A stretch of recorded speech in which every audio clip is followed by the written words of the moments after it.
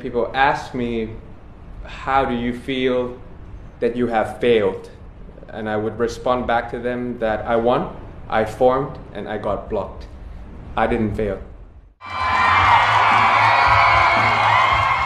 I won the election, I formed the coalition, and I got blocked by the appointed senates. Let us be clear on that.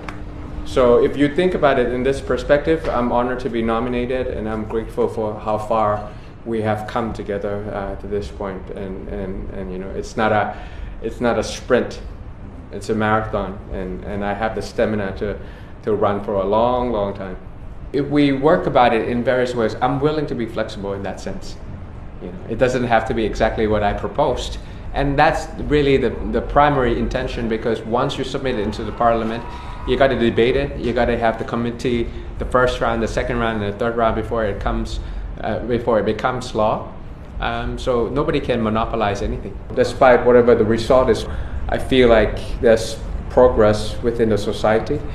Uh, that uh, they have demanded, you know, something new, something fresh, and not the lost decade that they had to go through hardship. So I think that's a kind of um, definition of new normal when it comes to Thai domestic politics.